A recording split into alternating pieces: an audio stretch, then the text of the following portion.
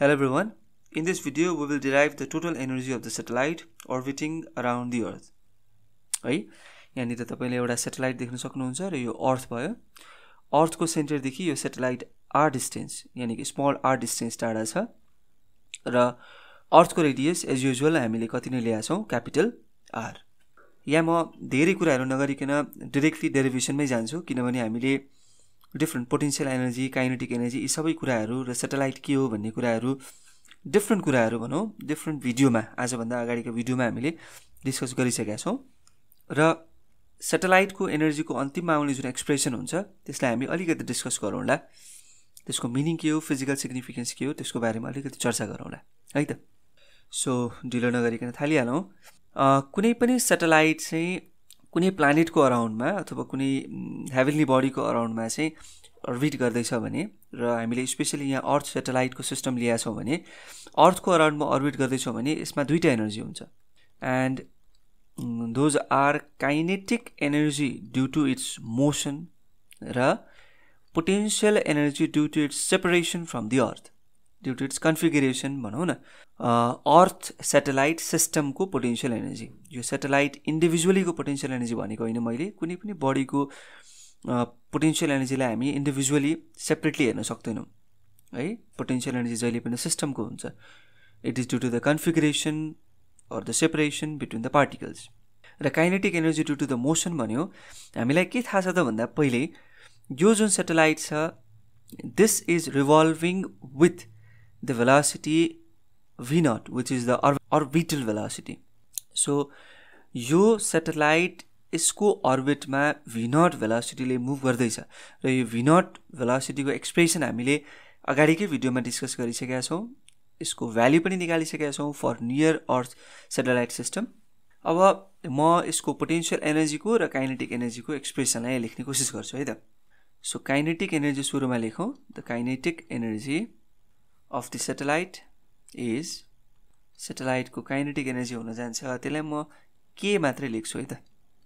K equals to 1 by 2 mv naught square and we all know the expression of orbital velocity which is gm by r जहाँनिर जी भनेको gravitational constant भयो am भनेको मास of earth र small r भनेको distance from the centre of earth to the satellite र यहाँबाट हाम्रो final expression कति आउँछ kinetic एनर्जीको G M M by two r है? यसलाई इक्वेसन वान भनौँ। त्यस्तै हाम्रो पोटेन्सियल एनर्जी हुन जान्छ। The potential energy of the satellite earth system है?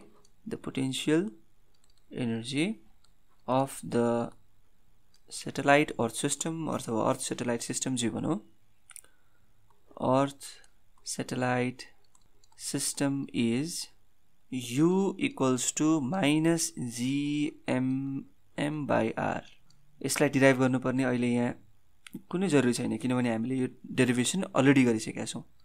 फर्स्ट भिडियो अफ ग्राभिटेसनमै हामीले यसको डेरिभेसन गरे र टोटल एनर्जी सेटेलाइटको कति त?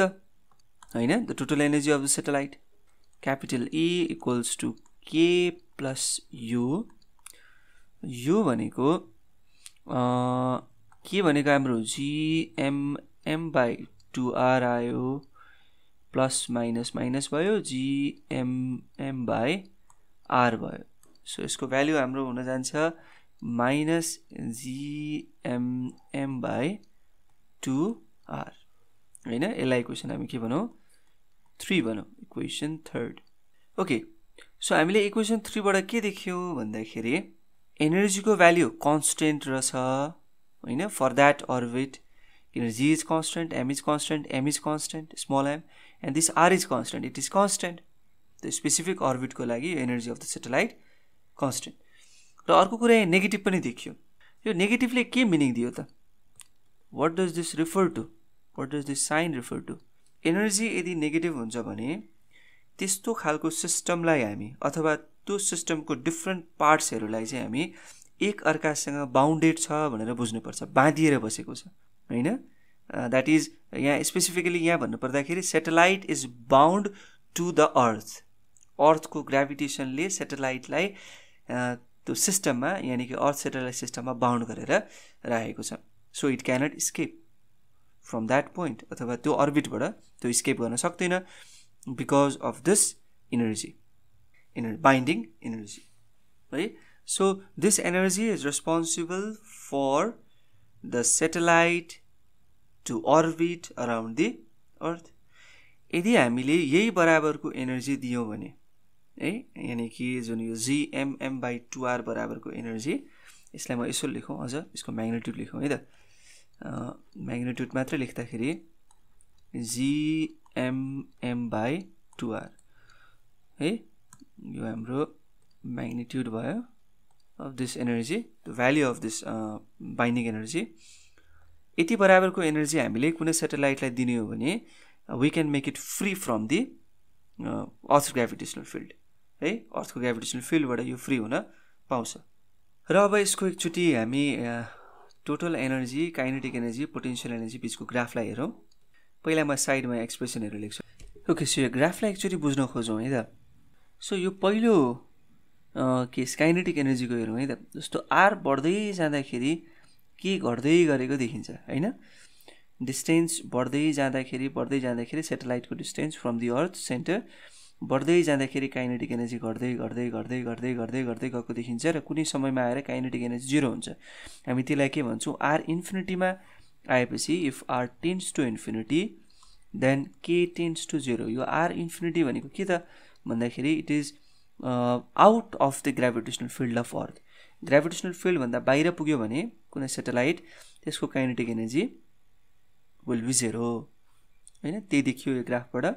त्यस्तै हामीले पोटेन्सियल एनर्जीको ग्राफ हेऱ्यो भने आर बढ्दै जाँदाखेरि यु घट्दै गएको देखिन्छ। तर it is the negative axis negative एक्सेसतिर यो घट्दै गएको भनेर देख्नु भनेको होइन आर बढ्दै जाँदा यो घट्दै गएको भनेको देख्नु भनेको वास्तवमा के हो? यो बढ्दै जानु हो। है आर बढ्दै जाँदाखेरि यो पनि बढ्दै जानु हो because of this negative sign okay so यो बढ्दै बढ्दै बढ्दै गयो र कहीँ गएर भेट हुन्छ। इन्फिनिटीमा गएर भेट हुन्छ त्यतिखेर पोटेन्सियल एनर्जी जेरो होइन? त्यो भनेको that is away from the gravitational field of the earth त्यस्तै यहाँ हामीले टोटल एनर्जीलाई पनि हेर्न सक्छौँ। टोटल एनर्जी पनि आर बढ्दै जाँदाखेरि ई घट्दै गएको देखिन्छ तर due to the negative sign यो वास्तवमा के भइरहेछ? बढ्दै गइरहेछ। है? इट इज इन्क्रिजिङ यसको यो सबैभन्दा लोएस्ट भ्याल्यु बढ्दै बढ्दै बढ्दै बढ्दै बढ्दै बढ्दै बढ्दै बढ्दै गइरहेछ। र इन्फिनिटीमा यो टोटल एनर्जी पनि के हुन्छ? जिरो हुन्छ। So that is called that is that that means so that means it reaches away from the gravitational field of the earth the satellite so यी र युको रिलेसनहरू एकचोटि यु यहाँ हाम्रो के छ? U equals to minus G M M by r छ हो। यसलाई मैले two times of minus G M M by two r लेख्यो भने यु इक्वल्स टु म के लेख्न सक्छु? टु ई लेख्न सक्छु। है? र यसले के मिनिङ गर्यो के मिनिङ दियो भन्दाखेरि यसलाई हेर्नुहोस् है त इको भ्याल्यु चाहिँ सपोज फर इक्जाम्पल इको भ्याल्यु कुनै पोइन्टमा एक्स रहेछ भने यु कति हुन्छ त्यो पोइन्टमा टु एक्स पोइन्ट भन्न खोजेको आरमा कुनै आरमा कुनै पनि डिस्टेन्स है? Distance of satellite from the centre of the earth यो आरमा चाहिँ इको भ्याल्यु एक्स रहेछ भने युको भ्याल्यु कति हुन्छ? टु एक्स हुन्छ। तर कहाँतिर? नेगेटिभ एक्सेसतिर हो? सो यो सर्टेन पोइन्टमा यो यो आर इक्वल्स टु सर्टेन पोइन्टमा होइन? ल आर नट भन्ने पोइन्टमा चाहिँ इको भ्याल्यु एक्स रहेछ भने त्यही पोइन्टमा युको भ्याल्यु युको भ्याल्यु कति हुन्छ? To x in negative x axis sorry in negative axis है त सो आजको भिडियोमा हामी यति नै गर्छौँ। अर्को भिडियोमा हामी ग्राभिटेसनको न्युमेरिकल गर्छौँ र त्यो नै हाम्रो ग्राभिटेसन च्याप्टरको अन्तिम भिडियो हुनेछ। त्यस पछाडि हामी अर्को च्याप्टरलाई स्टार्ट गर्नेछौँ। okay so till then have a good day and keep loving physics. Thank you.